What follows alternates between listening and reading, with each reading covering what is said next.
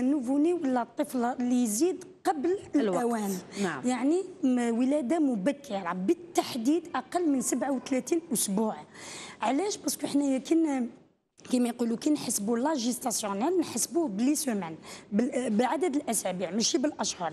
يعني تحديدا أقل من 37 أسبوع نتحدثوا على ولادة قبل الأوان ولادة مبكرة ولا un prématuré ولا الطفل خديج. كي نحكيو على الطفل الخديج يعني هناك أنواع ولا هناك يعني حالات.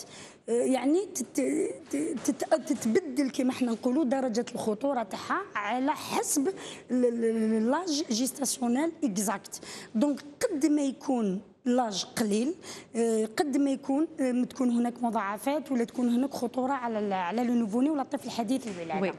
يعني نتحدثوا مثلا على أقل من 32 أسبوع بين 28 و 32 بين 30 أسبوع ل 34 أسبوع. نعم. من 34 أسبوع حتى ل 37 آه، يعني أقل من 37 أسبوع.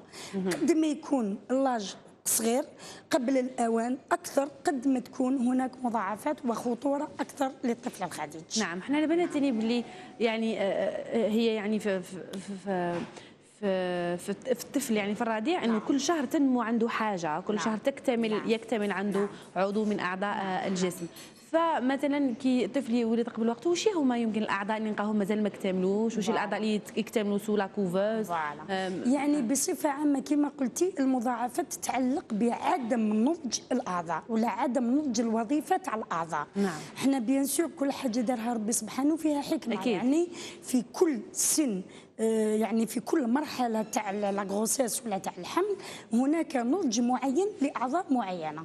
إحنا يعني كما قلت لك قد ما يكون صغير قد ما يكون آه، ما يكونش نضج تاع عدد كبير من الأعضاء وهذا راح يشكل خطر عليه.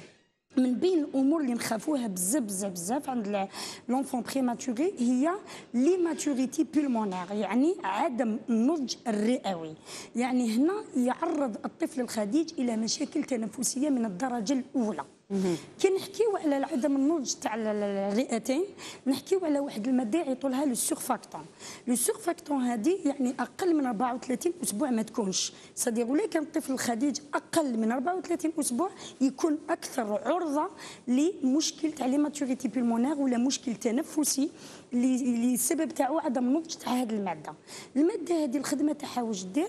راح تخلي إحنا على بالنا في في les échanges gazeux يعني كي يدخل الاكسجين ويخرج le CO 2 عندنا الحويصلات الهوائية اللي هي أصغر وحدة في الرئة.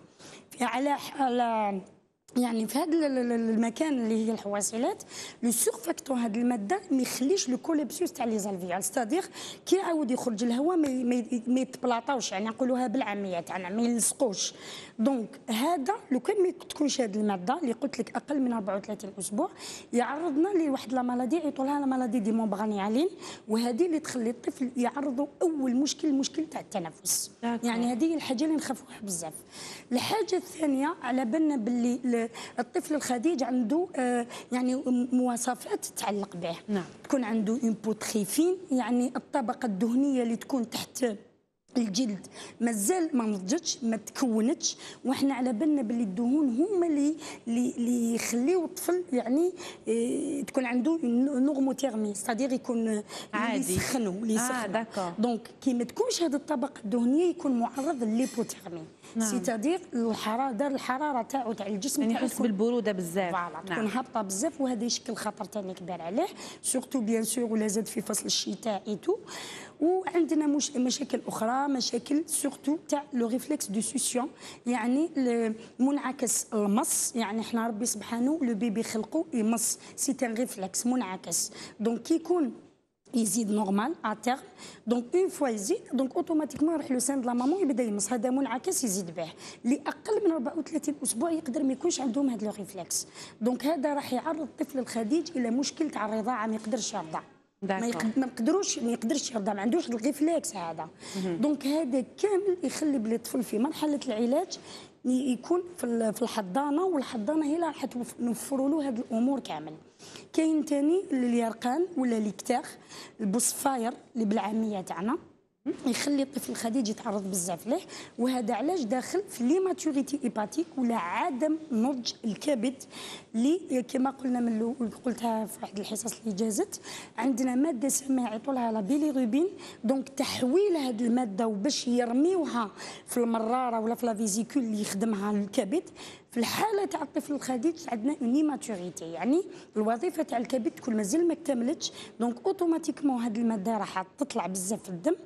وحنايا عندنا دي طو يعني عندنا كما حنا نقولوا أرقام. قد ما يكون الطفل خديج يكون صغير يعني كي يزيد la bilirubine تأثر عليه بزاف ويقدر يمدنا le risque c'est ce qu'on appelle l'ictère nucléaire وين هاد la bilirubine كي تدخل تقدر تخرب الخلايا العصبية.